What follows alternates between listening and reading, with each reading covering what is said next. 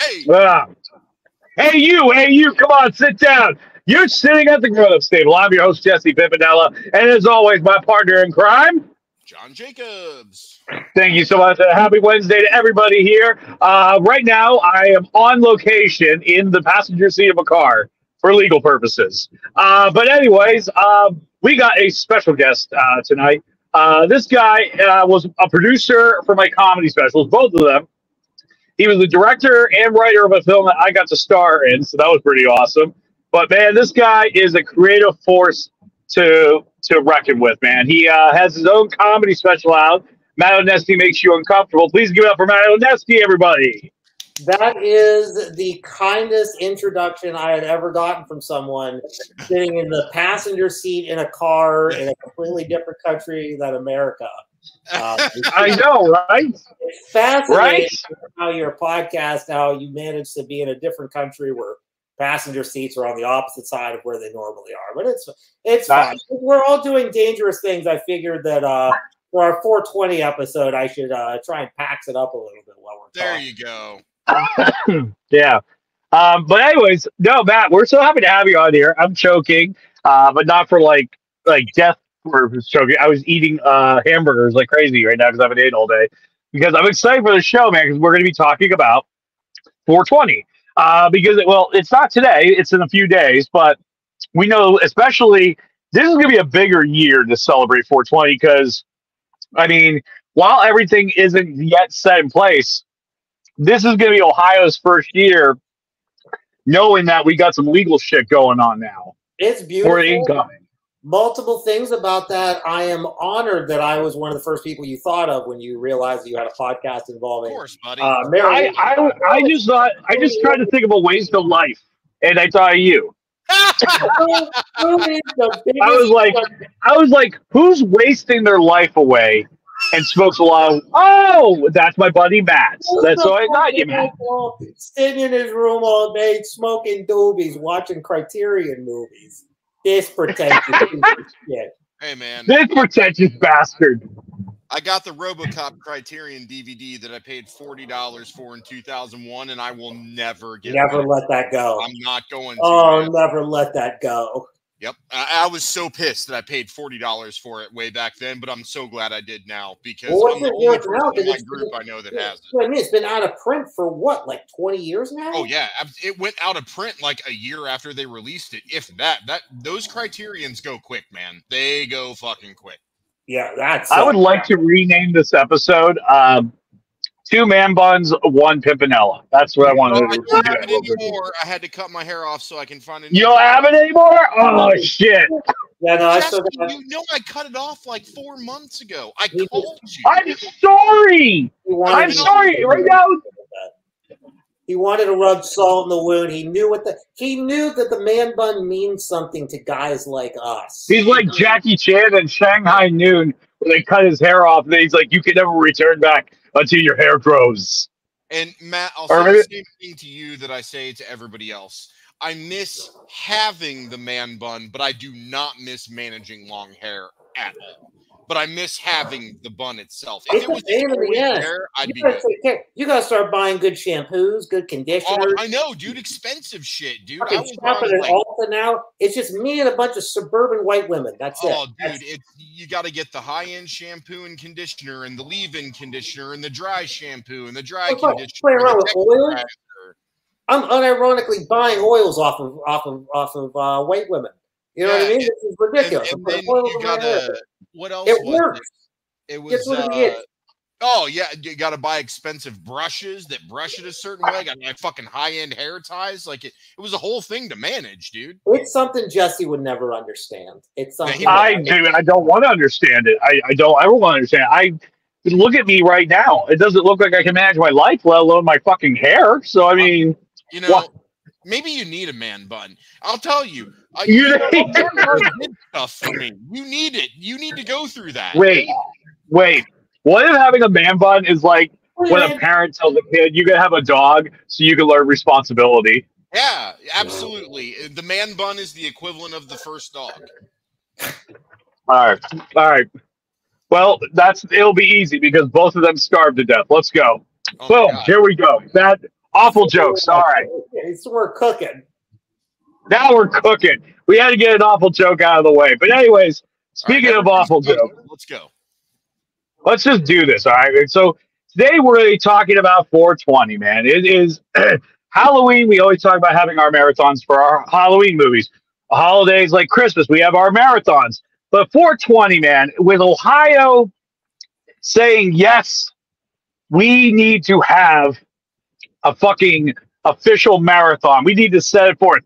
I'm talking like ABC's 25 Days of Christmas, but but instead it's weed, and they just play weed movies back to back.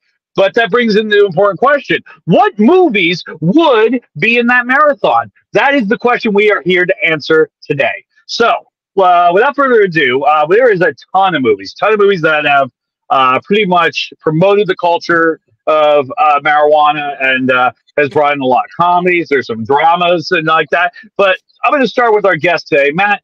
If you had to watch a good pot film, what would be? What do you think kicks Ooh. off that ABC family's 420 days until 420? I am. If you are asking me to pick one, what am I bringing to the table for stoner movies? I'm bringing Grandma. Yeah, I'm bringing Grandma's. fucking fucking grandma's boys.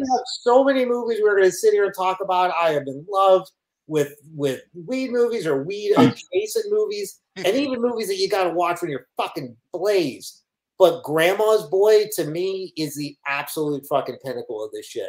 Why is it the pinnacle? Why is it the pinnacle? Because that's not a. Now I love that movie, but that's not a movie that's ever brought to the forefront like you just brought it. So why is that movie brought to the forefront as a pothead movie? This is obviously quotable, right? One of the most quotable Yes. movies. Every, every Very much. quotable and shit. This has it's somehow the most grounded in reality stoner movie. yes. Yes. Create and this Very is much, yes. drawn to it as it. Like every great stoner con like it it gets so fantastical and so ridiculous. So obviously like the Harold and Kumar movies are ridiculous. Half Baked got ridiculous. Pine- Pineapple Express is a like very close second for me. But I'm even saying that's fallen out of it because again, it literally ends in a gunfight. You're like, Right, right. Yeah. it turns into a fucking action movie, and Seth Yeah. Rogen's doing fucking uh, he's doing taekwondo and shit. Like, Remember when No, he like- jumps on Gary Cole at the end? From Oh like, my god, that was such a he's great up, scene. Just, like jumps like He this. look- on him. I'm like, oh he shit. literally like he fucking has hang time and yeah, dude. fucking lands He's on like it. sailing. It was John, like it's like a, some fucking John Woo shit. Yes. really fun. Like, don't get me wrong, really fun. But I am bringing Grandma's Boy as my example of like the best fucking stoner movie because it has all of these things. It's quotable. It's got past stars plus future stars. Yeah. Um, and it to me is one of the more grounded ones. Like every It's crazy that plausible. it's very crazy how grounded it is. And also, it's kind of one of the first instances where we kind of see these stoners actually be quite responsible. I mean, Yeah. yes, their their their nine to five, their nine to five job is fantastical. Let's admit it. It is. It's a very fantastical job, but it's like he's like Allen Covert. He's developing his own video game for Christ's sakes. Well, yeah, they're video game. They're just coders. Coders are the biggest stoners you'll ever fucking meet in your entire life. I know, but it's like, but like this is like the more responsible side of of being a stoner. I think one of the interesting things about pot films is that they celebrate irresponsibility of the stoners. But this movie is kind of interesting. It's they're they're they're well put together. They're in a corporate office. You know, they have a they have a corporate culture. That one guy keeps calling out people to play video games against him. Nick Swardson beats the shit out of him at DDR. You know what I mean? Like, Oh, Bob, Like, there's a- Woody Allen jacket. Yeah, it, it's just it's just a very it's just I don't know. I find that to be such an interesting element. I never thought of Grandma's Boy like that. So bravo, that is a good kickoff film. Yeah. So for me, um, because I unfortunately I didn't see it in the theater, but I rented it like within that first week that it came out. And believe it or not, Blockbuster was still around at that time. So you better believe that was a pick off the Blockbuster shelf when I rented it. But what really um got me with it is that it to me it was normalcy okay? So i was born in 81 i was a kid during the reagan eras and the whole just say no and the huge drug campaign thing and i grew up thinking that marijuana was just as horrible as crack cocaine okay? Yep. and then, like the 90s came and like people started to pull their head out of their ass and they're like wait a minute maybe we've all just fallen for this stupid bullshit. And so like as i've gotten older now half the country's legal ohio legalized it last week that we've had medical for years. People with various conditions can now have access to the medicine to help them. Um it, it's it's it's great but it's something i never thought was going to happen and back when grandma's boy came out it was still a pipe dream for ohio. And the thing that i connected the most to grandma's boy was obviously just the the characters they're that's centered around video games they do video game testing they go on these adventures together um and it was about a 38 year old single man working in a young kids area profession and was Yep. also a pothead that was able to balance a corporate full-time job taking care of his grandmother being with his friends and just fucking chilling out at the rest of the night. It didn't demonize pot smoking. It didn't make No. pot smoking into a punchline. It normalized it for old people. It's like, hey, you can drink, but if you want to chill and smoke, who the fuck cares? Because that's fun too. And I, I think that that helped with, we're talking about how grounded it was. And that was it for me. That really hit the grounding for me. It was just like, everything in this movie seems normal, minus the fantastical job part. But everything else, Oh, yeah. normal. And I liked that because that was even even like we brought up half baked. There's so many fantastical things that happen in that movie. It's Oh, yeah. but grandma's boy does feel a sense of normalcy and that on top of the games on top of the actors on top of the fucking characters you know what are you doing jacob just thinking about my game like i mean come on man like it's just it's so It's gonna fucking be good, revolutionary. it's so good so yeah it's definitely on top list for Ooh, me. bouncing. No, it's like the most fantastical thing about that movie is when it fucking hard cuts to the news and there's Dante with a with a fucking lion in the in the Yeah. trees because Dante bought a fucking lion off of Yeah. top of Shango and like that's Shockaloo, that's the most fantastical thing, but it's like that's something that like can happen. Like that that's Yeah. the, the level wrestler would do that. Look, look. If Joe Exotic can buy a bunch of lions, I am sure Dante can get a lion. That's there you go oh and Joe and Joe Exotic was do was on meth. All right, he was on biker crank. All right, and so marijuana oh, this is a layup for him. So He got I it. want to piggyback off of John's like so this normalizing something because it actually just now got me thinking about even the Dante character. Like the drug, it didn't even demonize the drug dealer. No. He was just this goofy fucking dude, Yep. like just sort of doing his own thing. He just Yep. kind of happened to be a drug dealer. Yep, absolutely. Mhm. And people wanted to be around him and hang out. It, like they talk about that in, in Pineapple Express, which we might bring up. I don't mm-hmm. know. Oh, But they talk absolutely about will. how it's uncomfortable, you know, buying drugs and going to a dealer and this and that. But in Grandma's Boy, they're all friends and they all just fucking chill. And when he moves into And that's the realism. right, he goes to mm-hmm. Dante's. He chills all night there, and then Dante gives him the free cable box. Like Because there it is, man. Then this shit has been in my vocabulary since practically the beginning, especially when I started smoking weed in high school. Um, when he fucking comes in and he says, "All right, dude, we're gonna go to the loony bin together, bro. We'll Yeah. fucking go to the loony bin again." Like, I don't know. He's just you want to be around that kind of person. Yeah. Like, that's a beautiful kind of human. he gets the camera out to document it. I think- Before. I just think, like I said, it, it- me growing up in a, uh, I was in Catholic school all my life. They always made it sound like marijuana was something you had to go in between a building. Some Yeah. seedy low life is there. You know, he gives it to you. You're lucky he doesn't fucking shoot you in the stomach and fucking take your money. And it's not that. It's it's not that at all. And uh, uh, real quick, I want to bring up a few comments real quick. Um, Tom Cook, he says happy 420. There you go. Uh, there it is, some A plus uh, right there. It's, it's a, he found this movie to be an inspiring plot movie. Uh, and then also what's round on the outside and high in the middle, which by the way, what that needs to be a shirt. All right, that needs to be a shirt. And then uh, my wife, she said, "Bring up Reefer Madness." Oh God. Oh, Oh, that- God. we talked about the greatest pot movie ever created. Reefer Madness would be. Um, I guess that's the anti. That's that's Yeah, the bizarre. opposite. That's That's gonna be, but that uh, I think what's so great about that movie though is how how opposite of what it did. It didn't work. Right, right. It yeah, yeah, backfired right. so hard.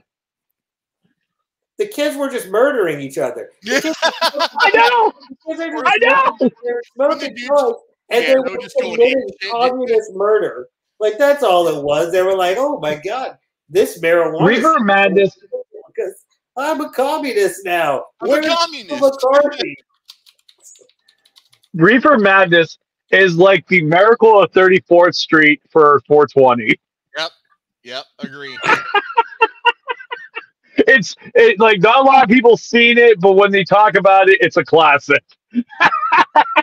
I was just typing in some. I was just typing in some stuff to see what kind of hits I could get back. Um, and I just typed in why is Reefer Madness so good? And uh, this article from the Quora literally says, "Do U.S. citizens still treat the movie Reefer Madness like it's true?" I'm like, what? Sort Yes, of. yes, we do. Yes, we Some fucking people do. might. Some people might. Dude, I, I look, I tried I tried it for the first time ever in my life this year. And you know what? I think Marxism is the way to go. I'm just gonna throw that one out there, guys. Uh, I'm just gonna throw it out there. I think everything I have, you should have it, and everything you guys have, I should have. I I don't know why. It's just listen. February 17th, I didn't feel like this. February 18th, I always I suddenly felt like this. So He Matt, Matt, Jesse tried the pot and look what it did. It fucked with his brain. Yeah, look at him. And now he's gonna. He's, before we know it, he's gonna be leading a Leninist revolution. He's gonna start out of basic principle. hard R, Listen. you know, what do you name it? He's gonna do it. Like because he's smoking. Dude. This is it. Jesse's decline. this is it. It's over for me. Why did you Well, I will your life. Well, I think you'll be proud of me uh, because you two both inspired me. Okay. So let me explain what set me up. Okay.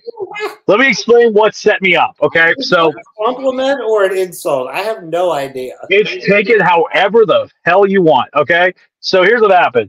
I get done doing two shows. All right. My last show I did, uh, it was um, it was for a charity benefit, and I dressed like a crazy little character and run around. Was kind of, anyways. My knees were hurting. Everything. As soon as my knees started hurting, I just thought of John, and I was like, John would take gummies right about now. John would take gummies. All right. And then I thought, I thought, and I thought to myself, Matt would want me to take the gummies. Matt would want me to. And the night before, I did a comedy show where we were paid, but then they were like, "There's a goodie bag for you guys at the end of the night. Take one home." And it just had a bunch of interesting surprises I didn't know were in there. And I'm like, "Holy shit!" All right. So there was a gummy in there, and I was like, "All right, well, let me uh, let me try it. Let me see what this does." So I've never had any of this ever in my life, never. And I misread the cutting instructions for like how like what portions represent on, on yeah because the whole thing was like a hundred milligrams Man up. What Okay. the hell? no no no fuck no i ain't gonna do that. So i took it Ohio, dude i took a slither and i took 10 milligrams of my first shot. Um okay i didn't know that. And it and at first the first hour it wasn't kicking in. So part of me was like i think years of being a comedian and getting shotgunned all the time has trained me for this. And then all of a sudden i started giggling like a madman while watching the purge.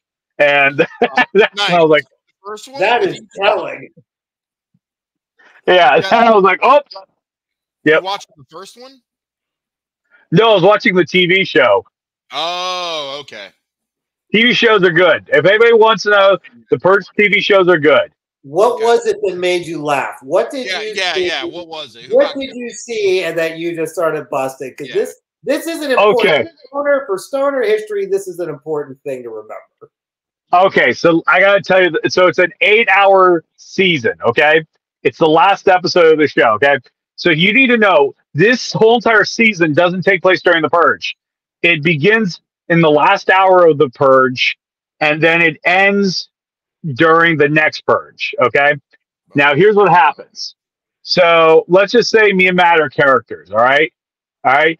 We both go out during the purge because we're pledging for a fraternity, but I get caught Matt gets away instantly. Okay, just gets away instantly, and he comes back to the front house. He's like, "Oh, Jesse's been gone. Jesse's gone." But then I somehow come back and I have blood all over me, and I'm and I start turning into like fucking Vincent D'Onofrio in Full Metal Jacket for the remainder of the year, talking about how I want to hurt everybody and stuff like that. I become a straight up incel for the whole year, and like I'm re- getting myself ready for the next purge. I keep saying shit to Matt, but Matt is like regretful. Matt is like, I'm so sorry, man. I'm so sorry. I should never left you that. And Matt is doing his best to be a better friend. He's doing his best to be a better friend because he remembers that night where I got caught and he was like, sorry, and then ran away. Right. And I thought I was going to die. So finally, the next purge comes. It doesn't work. I'm fucking Vincent D'Onofrio. I'm starting to get everybody in the, the pledge house. And then finally, I have everyone tied up. Matt comes into the room and I go, it's time. It's time. Now, keep in mind, Matt, the whole entire show has been like, like, I'm going to save him. I'm going to be better. I'm going to be better. I'm going to be better. I'm going to be better. But in the, but in the final moment where it was that time to nut up or shut up, he, it, it, the guys, Matt's friends are all tied up, ready to get killed. And I, and I, and I got the knife. Matt's character goes, sorry. he gets right out of the pledge. And then everybody just gets fucking murdered. So, like, they built up this guy to have an arc, and then he never had the arc. He never changed. He abandoned his friends for a second time, and this time got more of them killed. But they built it up like Madness. what? Sounds like Reefer Madness. It was. It was. So I started laughing hysterically. Sarah got scared. She called Time War. Time War. She's like, I'm really worried about him. He's laughing way too fucking much. Uh, it's okay. And then for some reason, my wife's like, "You should get go get the cake because it was my around my birthday time." Uh, I found out I don't know how to cut a cake when I'm high, uh, so I started stabbing it, and then I was trying to put it on a plate. So I I rolled the cake into a meatball and I put it on Sarah's plate and gave it to her. And then I gave my little meatball cake and I ate that too. And then we watched the rest of the purge and that was my night. That that was a crazy story, dude. Um, wow, we we definitely need to unpack it. Uh, but we're I think we should talk about some more shows. It's one of it's probably one of the better examples of proving reefer madness genuinely correct. That Yeah. the moment, Yes. because wait a minute, because the mo- the moment you got out, you started stabbing a cake. Did I hear that correctly? Oh, I started stabbing the shit out of the cake. Because I couldn't figure out how to cut a cake and I got mad, so I started stabbing it. Like fucking Norman Bates through the shower. Just started stabbing the cake. Oh my god, he um, you turned into re- you turned into a reefer madness character. Yeah, I know, I know. It's kind of beautiful. Should we vote for Bernie this this election season? Just want to throw it out there. I don't know why I want to throw it out there. think we need to vote for Bernie. Uh, I'm excited Yeah. that we converted you. I'm proud that we converted you. proud that me and John did. I- I- to the good side. I don't- To the side of the marijuana. to the yes. I am going tonight. I'm going to have more de- Devil's Lettuce, and I'm going to read uh, some more Lenin. That's what I'm going to be doing tonight. So, all right, get that Marxism in me. Oh my god. Anyways, let's talk more movies. Sorry, it just reminded me of Big Lebowski. Hey, we can move forward. Big Lebowski is a great. Yeah, There's we're talking about stoner movies, right? So classical stoner movies. You know, these movies where they're literally about dudes smoking weed. Um, Big Lebowski, that's one of those movies where like you just kind of gotta watch ripped. You just gotta kind of watch it blaze out of your mind. It's like the perfect fucking stoner movie. It has everything. Yeah. I think what's so great about like Big Lebowski is that they purposely build towards something and then they purposely don't do it. And they or just it's, keep or it's not as like epic as you think it's gonna be. It's not. It's fucked up, you know, and you're just like, really again, like. But then you're like, oh my god, Like- what's going on? In a move if it was any other movie, the moment that Walter picks up the Lebowski, he should have been walking. All right, let's let's if it was any other movie, the the real Lebowski walks. Okay, he would have picked him up, he would have walked, and they'd be like, "How dare you!" The fact that that motherfucker fell and went Yeah. flat. It, it just built to this anticlimactic, awkward as fuck moment where Walter goes, "Oh man, sorry."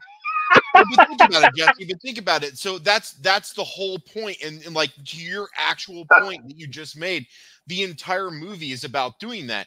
They build you up on a character so that you know and understand who that character is, and then they put that character in a scenario which they have to choose something, and you are convinced that that character you know is going to go a certain way, and they go the opposite way every fucking time. It Every fucking time. should have been a fake. He absolutely should have, and he should have gotten called out. But do you think it was more impactful for the movie to find out that the one truth Mr. Lebowski had was that he was injured and that Walter was simply being Walter, doing things that Walter does and never learns from? That was the bigger impact than Lebowski. That's the bigger impact. Because you're, That you're what, ab- what are you doing now? like, what is happening here? Right. So, Dude, I wish I had the confidence of Walter. Like the up confidence is not care. dude, yeah, he like I, I his I call his philosophy fuck it, let's go bowling. All right, like they pretty much set they did a hostage trade, and for all they know, they probably got the girl killed, and his first response is fuck it, let's go bowling. That poor woman. They're amateurs, dude. They're amateurs. The fucking amateurs. I do. Even in the face of danger, he just doesn't give a shit. I like the one part. No, Donnie, they're nihilists. They're cowards. the greatest thing too is that like Walter doesn't smoke, Donnie doesn't smoke, Lister Lebowski doesn't smoke, the nihilists don't. Nobody smokes but the dude, and the dude, The is always prepping because the dude is always at homeostasis chill.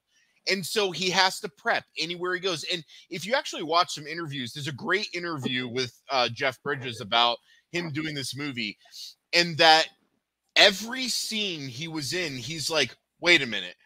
What was the dude doing before this scene? And he talks about when he goes to visit Mr. Lebowski with the ransom note where he hires him to do the handoff. He's like, when they got on set and they're getting ready to film, he's like, hold on. He's like, wouldn't the dude have smoked a joint on the way here? And they're like, yeah. Yep. He's like, hold on a second. And he like roughs up his eyes and then he's ready to go. And that's what's so great about it is the dude is the only one who smokes and he's the chillest guy. His car gets stolen and he just walks home.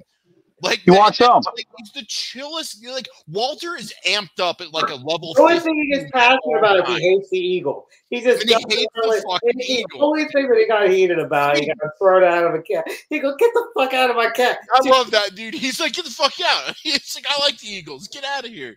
I love like I love how zero to sixty that cab driver went. Like, Yeah, he get, wasn't get the fuck proud, out of He like was no. but I- Say one more word.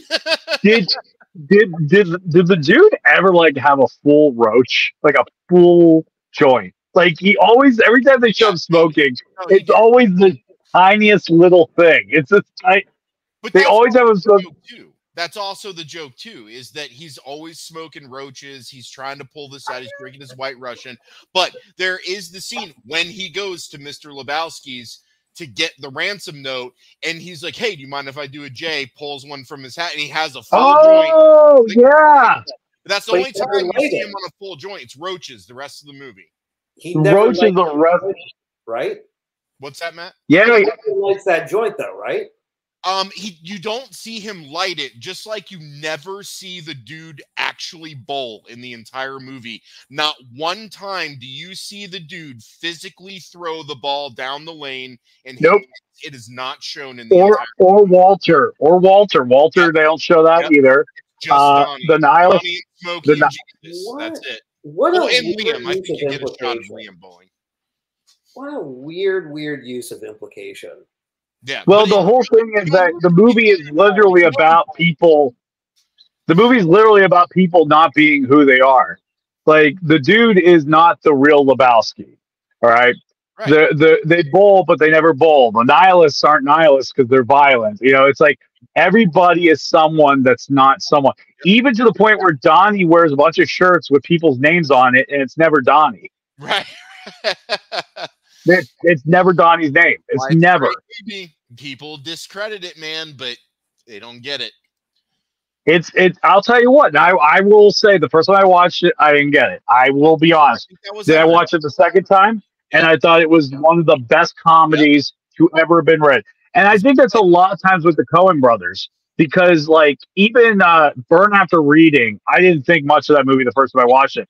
Now when I watch it, I revere it as one of the funniest comedies I've ever seen in my life because it is just it has that same moronic element that the, the Big Lebowski has, where it's a bunch of people making mountains out of molehills when there barely is a molehill, and it's just ridiculous. Yeah, it, But- it, it truly is. Um, so I want to talk about another uh, great 420 movie, but before we do, since we got on a little Lebowski uh, tangent, no pun intended, um, everybody who loves this movie constantly has a different favorite scene at that time. So Jesse, if I were to ask you right now, what's your favorite scene? What are you answering today? Oh, Lebowski. Um, Yeah. uh, oh, uh, this is happens you fuck a stranger in the ass every time. You see what Every- happens, Larry? You see what happens? You see what happened? All right, Matt, All right. yours? Right now, today, what's your favorite scene? Um, they're in the uh, Big Lebowski. The the dude is looking for Lebowski's wife. Goes to the porn guy's house. yeah. Ben Gazzara. I think it's played by Ben Gazzara. Yep. And he fucking draw. He thinks he's being a fucking investigator. Yeah. Gazzara is writing something down. The dude mm-hmm. walks over Yep. and does the fucking old detective trick, and it's just a cow who's the dude with a big boner. Like and that's all it is. And then he's roofied and gone. You Yep. go into the next scene. Like that shit. I think about that sometimes. Like I want a whole spin-off series about Jackie Treehorn in his life. I really do. dude. Because that dude's been into some shady shit, man. You know he has. Dude, yeah, he, that dude. So that's the dude from uh, him and Cassavetes did a whole bunch of movies together. It, Killing of a Chinese Bookie. Like, highly recommend that fucking movie. Cool. That dude stars in it. Fucking wild. All right. Well, before we jump, I would say mine right now is when they go to the dude's landlord's show uh, so that the dude can give him notes. Um, and that gets interrupted by Walter, which the dude convinced Donnie to go with him. Why the fuck would Donnie go see this show? But the dude convinced Donnie to go, and then Walter shows up and he just starts talking about the plan with Larry and how they're gonna shake him down, and then it distracts the dude from giving his landlord his notes. And I always wonder what would have happened if the dude was able to complete the notes and give them to Monty, and Monty could improve, and we saw the improved performance, and had a bigger audience. Like, where's that at? We'll never know. We'll we'll, we'll never know, man. It, it, that, but that's what that's one of the funny things about that, like how that movie has so many small working parts. Absolutely. And when you think about, you can think about one instance. Here's how great this movie is. Okay, I was at Pins the one time, and I was doing uh, duck bowling. Right Mhm. here is how amazing this movie is. I I rolled, got a strike, and I screamed, and no one fucks with the Jesus. nice. And then somebody on the other side of the thing went, "Woo!" like the way John Turturro would. Woo! when he like moves his pelvis in and out.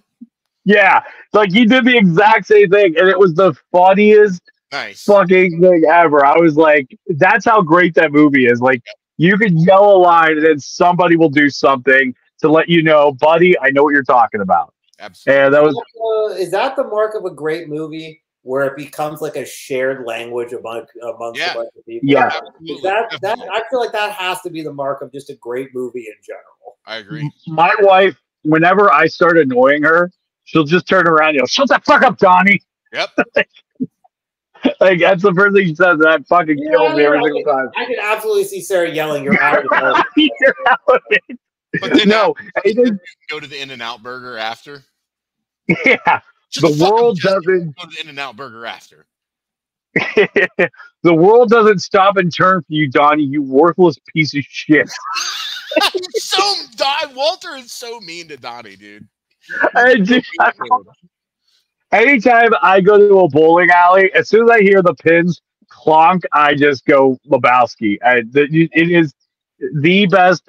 It's it's it's it's just such a good movie, and that's why in this movie, what's so great about it is this movie makes the Lebowski uh, a lifestyle. Like you know, Yes. like the dude abides. Yeah, I mean, like that's and Yeah. how he's What about always Sam Elliott? and you know, like doing his Yeah. meditations and and- Mhm. and when listening to whale songs in the tub, smoking a roach, like He It's was just lifestyle. He's listening to bowling. Later, like when they fucked him up, and the, he's just listening to bowling sounds. On Yeah. the- right, it's just on it. yeah, yeah. Just hearing strikes, It was- and a smile on his face. apparently like that was like some sort of bowling championship of one of his favorite bowlers, and he's like listening to it. yeah, right. He listens to bowling. The dude listens to bowling. Dude, I I could not stop laughing. I thought it was so funny, but but yeah, no, that is definitely an, an epic an epic stoner movie. Now I know we're running a little low on time. Uh, what other stoner movies out there do you think uh, would fit? I mean, obviously, let's before we go any further, there is a ton. There is a ton. Well, whenever But- we go into yeah, we'll just start listing them off so people can put their Just fucking. say the one everybody's waiting for you to say. Half baked? Is There that the you one? That's the number There one. you go. Like, I mean, that's so. I think that's number one. A- a- Anytime somebody says stoner comedy, pothead movie, you know, whatever, I, I think for most people, it's Half Baked is the one that comes fresh to mind. It came out at the right time in the '90s. Had a great cast of comedians. It still holds up today because, other than a few little details, it's kind of timeless. So, I mean, it's it still holds up, and that's what everyone thinks, man. It's Samson and Mr. Nice Guy, dude. I think one of the one of the funniest things about that movie, and it's not talked about enough, is how hard he is a cop killer in that in that in that like the newspaper. It doesn't give no like when I was watching the news, like when they showed like the news reports and the newspaper clippings and all that stuff. There's never a mention that it's a horse ever, Right, yeah, yeah. and I just and that made me laugh even harder because it's like they are totally and the fact that the whole court case takes place in one night Yeah. in the same night of the arrest like he's tried he's convicted he's pretty much in jail Oh, don't forget the fact that the horse had a was a diabetic, so it literally Diabetic. had a medical condition um, that could have caused that to happen a multitude of different ways, and that's not mentioned at all. To your point of not even No, mentioning the no. horse, Like, but that's that's where it's at, man. Because he has to go to jail and he has to sober up because he has to be sober Harland Williams so he can deal with nasty Nate, dude. And that's why the That- Squirrel Master had to come out of left field and it was Tommy Chong, dude, because he had to save the sober Harland Williams. It is so fucking poetic. Dude, i It's- could not believe that was tommy chong like at first i was like the like because he wasn't playing it like tommy chong you know what i mean like he he was there was a bit of like i don't know what what it is but he kind of had a seriousness to him but like a zen not Yeah. like how he is when teaching chong so at first i didn't recognize him at first just based on how he's shown and then i was like holy shit that's that's fucking chong i was like and i was looking for him the whole movie but also I forget, like, damn, he. I mean, the I forgot how young he well how young he did look in the 2000s. He's or the early 90s. They still look pretty good. The funniest thing They all look about good. They've just been smoking weed for fucking 40 years. Weed doesn't do anything. Yeah. to. Yeah, That- dude. Yeah, he's got great genes. But can't- the, the, dude, No, the I'm not saying that. what? I was saying I'm not saying that like I'm not saying that weed does anything to your body. I'm just saying the dude's old. look Good. Me, I weed mean, makes you look. I think you should smoke more weed. You look like Tommy Chalk. You'll get fucking, you know, you'll look the He same. could be the a squirrel master, dude. Yeah, yeah. but I do love that they they have to have they have to have a protagonist and an antagonist in jail. And so what better to have Nasty Nate and the Squirrel Master? You can tell that these guys have had beef over the years in prison. Squirrel Master is well respected. Nate's well respected. And anytime the Squirrel Master has to jump in and help defend Kenny, he's always like, All right, Nate, what did I tell you? Like, they're always bringing shit up. Like, they've had this like decades long beef and like all this history. And so he's just like always putting Nasty Nate in check, man. And that's the funniest shit because Nasty Nate's a huge dude and he's probably taking people out left and right. And here you have 120 pound Squirrel Master just putting him in his fucking place left and right, dude. That shit you can't write better than that, man. That's that's probably always been one of my favorite parts of the film because like even when I saw it for the first time, I thought that all the prison stuff was just absolutely hilarious. Such good writing. I think one of the, the more interesting things about the movie is how it how it like its relationship to reality and and marijuana. Yeah, like the scene when they start floating. Like I thought that was brilliant because I was like I was like, oh, it's this it's this type of movie. They're floating. guys feel like we're floating. You want to go Like- outside? And then Steven Wright just starts levitating. I was like, this is too funny. And then at one point, they're like, wait, how do you, when they're in the nightclub, they're like, wait, how do you know that they're getting high? And then you look back and there's people in the nightclub floating. Yeah, yeah. And then I'm in love with Mary Jane, and they're all like floating and shit. Yeah. Everybody's- But oh my God, no, that high, high baked, I mean, half baked, I feel like that's kind of like the Christmas story movie for I mean, and 420. it's got like a it has a, a totality story. You've got thurgood and all of his friends and they live in new york. They rely on each other. They work hard to have their shitty apartment and they like to relax and get high at night and on the weekends. But at some point like with anything in these various stages of life you got to kind of move on from something and then it became about his journey to move on and be like okay i found a good girl maybe we're gonna go over here and try this for a little bit. So I felt like it was a completed story too. Like he Oh, yeah, yeah. and he became this guy, and he got into a ton of funny shit along the way that will be talked about for the history of people. Yeah. But yeah, I mean, overall, this movie, I just felt like, yeah, it did. It had a kind of finality to it all. Like, mm-hmm. and I know they always talk about giving this movie a sequel, but part of me is oh, just like, No, no, don't, no, no, don't, no, just no, let it go. no, no. I miss, I miss one-off movies. Yeah, absolutely. I miss them because there's something special about them, and and there's something just so complete in the fact that it's one of its own kind. You know what I mean? I I mean, I, I like I said, we talked about this on the show. If you're ever going to do a sequel for a movie, the sequel, I mean, it has to stand on its own. It has to be its own movie, and I say that like to the degree of look how The Dark Knight is its own movie. You don't ha- you don't feel the urge to have to watch Batman Begins Oh, yeah. before you watch The Dark Knight I mean, you could just throw on the Dark Knight, and that's the end of the story. How many You know? sequels that have worked not Naked Gun? What other ones have worked? uh, alien, Uh, for for sequels, Yeah. alien. um, I know some people disagree with me, and I'm okay with it. Anchorman two, I thought it was just completely balls to the wall, goofy as fuck. It wasn't as quotable as the first movie, but I laughed pretty fucking hard. Can I help you, guy? What? There, I help Yeah. there- There's a whole Oh, no, no, no. angle with a, involving a shark and shit. I, the one scene where Harrison Ford's like listing off all his accolades with him in the office. He goes, "I killed two men in Okinawa, World War II, last week." oh, shit.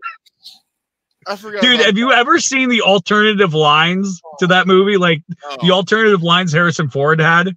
I didn't know that they had. Are they on? Are they on like a DVD or something? Yeah, like there's one where he's like, you see that pillar over there? I hid behind that for three hours. Eventually, a maid came, and I jumped out and was ah, and she fell backwards out the window. And if and to this day, I don't think it was my oh. fault. Oh my god, man, I'm crying. That's hilarious. I'm gonna have to look those up. Oh. Like I'm just like, holy shit! Like any one of these could have made the movie. But That's anyways, argument for Anchorman too. what? That's a good argument for Anchorman too. I mean, it is. Look, there's some problems with Anchorman too. The whole divorce dad thing was kind of dumb, um, you know, and a few other things. But dude, it- it's it's anyway. It's all about Jack Lime. Once you realize that Anchorman Two is about the rise and fall of Jack Lime, it will just completely change your perception of that film. There you go. That that's it. Well, hey, right now that is all the time we have. Let's just let's see if we can each name three movies real quickly that would go great with 420, just so we can add more to the list, and we'll sign off. For me, um, like I said, I want to add uh, Pineapple Express just because it came out in 2008 when it was like the heyday of fucking comedies in general. Yeah. so I man. gotta throw I gotta throw some love there. Up in Smokes, Cheech and Chong. I love that movie. Uh, that definitely has to get its uh its praise. And I know I'm missing a lot of movies. I know I'm fucking missing a lot of movies. Um, then I'm gonna have to say that literally the beginning of fucking uh Jay and Silent Bob reboots where they have their own weed store and it's called uh cock smokers the cock smokers, man. the cocksmoker. I yeah. So I got I got to give it to my. I have to give it to those three. John, what are three movies you got to add to the list? Well, I mean, I'll stay with the Cheech and Chong motif, but I'll go with next movie because that's my second favorite. Cheech I love next movie. I absolutely love next movie. I think it's hilarious. The the whole opening scene where they're siphoning gas is one of the funniest things I think that's ever been filmed in Hollywood. It's just the way they deliver the lines and like how it looks completely real in the like the late 70s when that was a whole thing. I just that's definitely one of mine. There's a lot of weed smoking that goes on. He smokes a live roach instead of a, a weed roach. Um, it's just it, next movie. It's not the best, and I, I know it's probably low on some people's list, but it's number two for me. Next up, It's a fun movie. what was this from? It's from the seventies. what? It's a '70s stoner movie. Oh yeah, yeah. You know, I never saw this one. I'm putting it on my list right now. them. Um, so so next movie would definitely be one. Uh, I don't think Nigel Daniels watching now, but if he was, I would definitely recommend Evil Bong versus Gingerbread Man. Um, Okay. That is just uh, that cinematic masterpiece and deserves to be in the Continental Congress vault. Um, and I don't. I mean, I know we talked. We talked a lot about the ones that that I really like that I could watch over and over again. But I do love the Harold and Kumar films as well. I think those are great. Oh, yeah. adventure films. A lot of pot smoking going on in those movies. Um, the the first Jay and Silent Bob film that's a good one. Although they don't smoke as much in the movie, but they just It's reference it a implied. Everything's implied. Yeah. So um, I don't know. Those are just some other ones I've thrown out on top of what we talked about. But Pineapple Express, even though there's some ridiculousness to it, um, it, it's just so well produced. It's well acted. It's well written. It's well filmed. And I think that film's still going to hold up. Yeah, James Franco turned out to be a piece of shit. Um, but let's still watch the movie because it's a funny movie, you know? So there we go. That's my two cents. Matt, what are your three? We have to round 'em off because we're low on time and I have to jump out of the car. We're gonna do it very, very quickly, but Super Troopers is a big one. Oh, yeah. Super Troopers, yep. A big one that needs to be put on there. Um, drug great, greatest drug movie of all time. You have Fear, Loathing in Las Vegas by Terry Gilliam. Um, that's and uh, Dazed and Confused. Oh, yeah. Perfect. Yeah. Yep. hundred percent. It has to be that's on your one of my favorites somewhere. too, man. I love that film. Oh my god, I feel like watching it What- tonight. Actually, now. Yeah, now if you guys have everything written down, write down all these, get high as fuck up until Saturday and watch all these movies. I like it. Just run the gauntlet. Well, there you have it. Right now, we have to go. Right now, we have to do a hard stop. I'm. I got a show I got to jump on right now. But anyways, thank you guys so much for tuning in. Thank everybody who tuned in in the comment section. We love you guys. Matt Onesti, thank you so much for joining us, man. I Thank really you, appreciate it. And uh, be sure to check out Matt Onesti's uh, "Makes You Uncomfortable." Where can we get that, Matt? Matt. Wi-Fi lost it. It's okay. Where can we get your special, Matt? YouTube. You can uh, YouTube, there it is. yeah, YouTube's the king. Check Yeah, out his YouTube. YouTube comedy special. Matt Onesti makes you uncomfortable. And until next time, I'm Jesse. I'm John. and You've been I'm seeing at the out. Grown Ups table. Thank you and have an awesome night, everybody. Take care, everybody. Like and subscribe, okay? Good night.